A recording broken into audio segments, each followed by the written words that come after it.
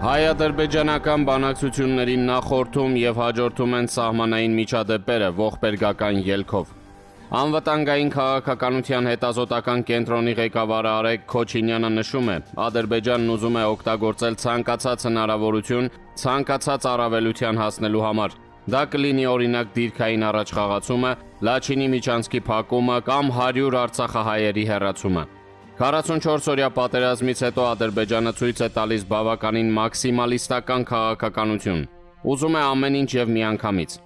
Ցանկացած առաջխաղացում եւ ձեռքբերում Ադրբեջանի համար ինքնին նպատակ է։ Մինչև խաղաղությունը փոկել մաքսիմալը կամ եթե մենք գնում ենք դեպի նոր պատերազմ, այն սկսել իրենց համար բարենպաստ դիրքից։ Կա նաև երրորդ տարբերակը, եթե մենք գնում ենք նոր սառեցման, նոր ստատուս քվոյի, ելի մինչև այդ ստատուս քվոյի սահմանումը առավելագույնը կրծելով վերցնել, հայտարարեց Քոչինյանը գալայի կարևորի մասին հաղորդման շրջանակներում։ Բանակցային գործընթացը մտել է մի տրամաբանության մեջ, երբ կա այլևս երկու առանձին հարց՝ Հայաստանի Հանրապետություն եւ Ադրբեջան հարաբերությունների եւ Արցախյան խնդրի կարգավորում։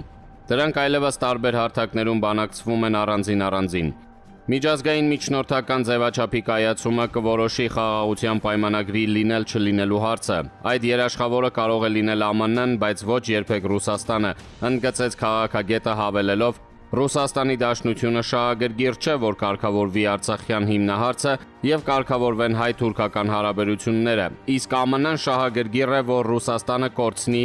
իր երկու հիմնական խարիսխները մեր տարածաշրջանում։ Իսկ Ռուսաստանի տարածաշրջանից դուրս գալը բավականին ակտուալ հարց է, հաշվի առնելով այն, ինչ է տեղի ունենում Ուկրաինայում։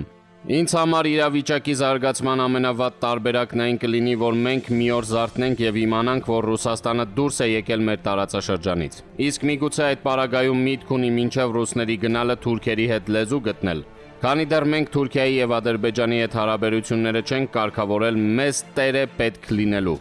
Տեր, որի փեշի հետևը մենք պետք է թաքնվենք թուրքերից եւ ադրբեջանցիներից։ Ընդ որում այդ տերն էլ որպես կանոն վերջին պահին փեշը փակում է։ Մենք գայլի դիմաց միայնակ ենք մնում, ոնց որ եղավ 44 օրյա պատերազմում։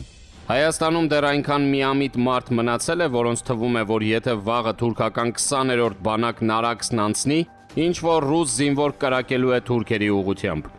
Էլ ինչ պետք է անեն մեզ հետ, որ մարդիկ հասկանան, որ ռուսները չեն կրակելու ոչ մեկի ուղությամբ հանուն մեզ։